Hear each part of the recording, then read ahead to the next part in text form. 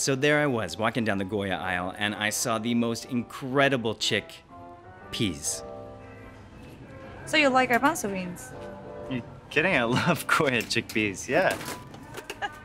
Next thing I knew, we had dinner plans, and I knew exactly how to impress her with whole, plump, and award winning Goya chickpeas.